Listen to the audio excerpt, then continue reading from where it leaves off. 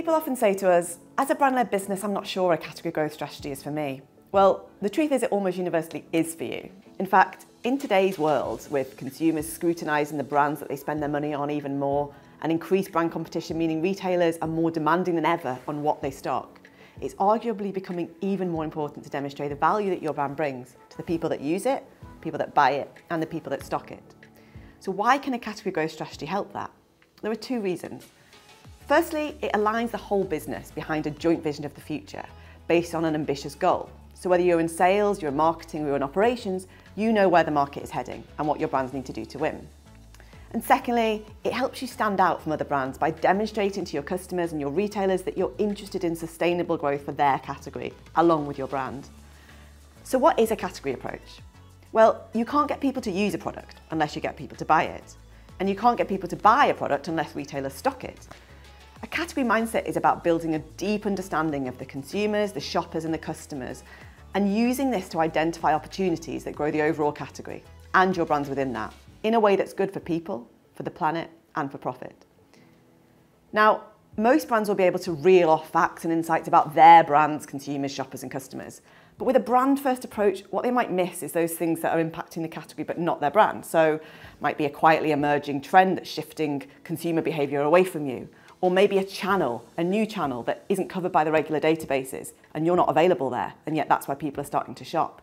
This is where a category viewpoint is critical. By taking a step back and looking at the landscape more broadly, considering current performance, short and long-term trends, how consumer and shopper behaviour is changing, we can start to understand how things might evolve and then how both the category and our brands can be best placed to meet consumer, shopper and customer needs in the future. And then we can find the opportunities that have that triple win that we strive for, right for the consumer, right for the brand, and right for the total category.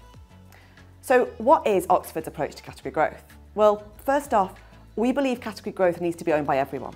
It's a mindset that needs to exist across an organisation. So we always make sure we bring together a cross-functional team with different viewpoints and opinions so that we can build a strategy that people from sales, marketing, insight and beyond can all get behind. Now, there are three ways to grow a category. We need to get more people to buy more often and we need them to get them to spend more, either by buying higher priced products or buying a larger number of products when they buy. What's critical then is that our category growth strategy approach has people at its heart. Those consumers, the shoppers, the customers that are buying and using the products on offer. So we work with our clients to build a really good understanding of how people behave and why they behave the way they do, both now and also how that's going to change into the future.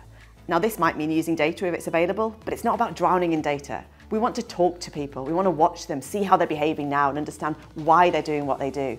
Getting under the skin of people in this way helps us to identify the change in behaviour that we need to inspire and excite more people to buy more often and to spend more.